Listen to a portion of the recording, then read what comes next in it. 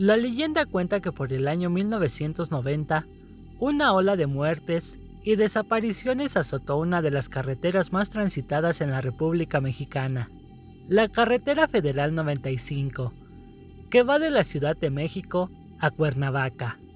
Para ser más específicos, se dice que esto ocurre muy cerca de un pequeño poblado que se llama Tres Marías. Los pobladores de esta región cuentan que, a altas horas de la madrugada, un carro rojo, antiguo, pero muy lujoso, transita por esta carretera a velocidades excesivas, todo con la finalidad de encontrar una nueva víctima. Se dice que va conducido por dos o cuatro mujeres, excesivamente hermosas, que van vestidas con ropas diminutas y reveladoras, como si hubieran pasado la noche en alguna fiesta y quisieran terminar su alocada jornada con algo de sexo.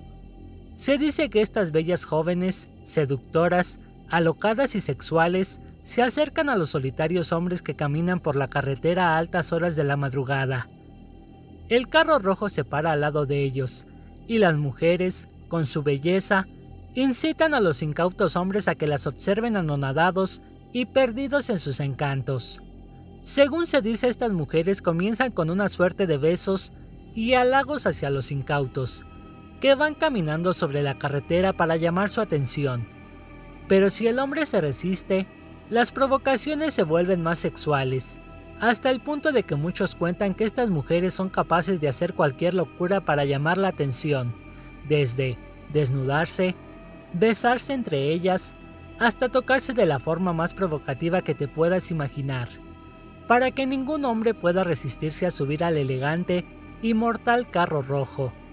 La leyenda cuenta que los cuerpos de los incautos aparecen al otro día a la orilla de la carretera, muertos y con inscripciones extrañas en el cuerpo, que se podrían describir como tatuajes demoníacos, en forma de una extraña simbología mágica que según se dice sirve para hacer brujería.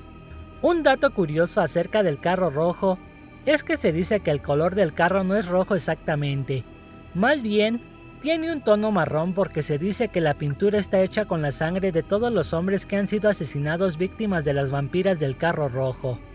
Hay tres mitos que giran en torno a la leyenda del carro rojo. Se dice que las mujeres podrían ser brujas.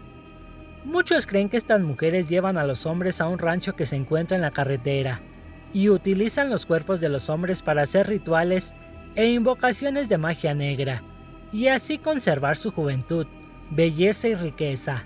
Las mujeres del carro rojo son súcubos. Esta suposición tiene tintes más demoníacos. Los súcubos son demonios que toman o tienen aspecto de bellezas féminas para seducir a los hombres y llevarlos a cumplir sus mayores deseos carnales.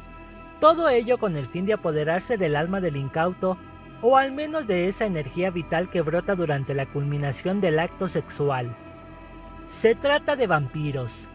Se cree que estas mujeres son vampiros, ya que en mucha de la literatura vampírica se dice que estos seres se caracterizan por lo elegante y adinerados que pueden ser.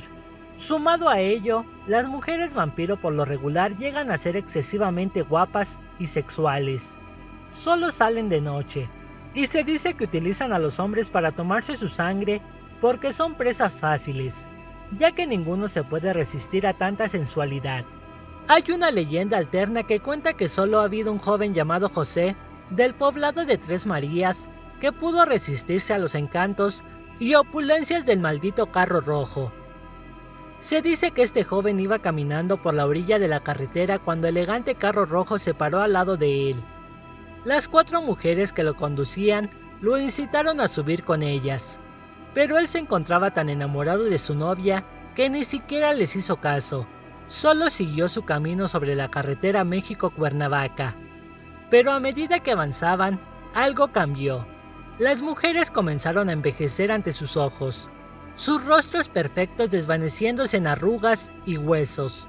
Sus risas joviales se volvieron siniestras, y sus hermosas manos en dedos que se aferraron a su piel como garras. El carro rojo también mutó, sus llantas se desgarraron, y la pintura se desvaneció hasta convertirse en un negro profundo. La sombra que lo envolvía parecía tener vida propia, como si fuera una carroza de ultratumba. El joven cuenta que estos demonios se perdieron en su automóvil en el bosque de Tres Marías. Mientras más se alejaban el viento aullaba más fuerte como si estuviera abriendo un camino al mismo infierno. Dicen que aún hoy, cuando la luna está en alta y el viento susurra entre los árboles, se puede escuchar el eco de las ruedas sobre el pavimento, y aquellos que se aventuran por la carretera a toda velocidad sienten el aliento sienten el aliento helado de las mujeres del carro rojo. Y bueno amigos, hasta aquí el video. Si les gustó, no olviden dejar su manita arriba y compartir el video si es que lo desean. Activar la campana de notificaciones para que se les avise cuando subamos un nuevo video. También no olviden suscribirse a este canal. Por mi parte, esto sería todo. Nos vemos hasta la próxima.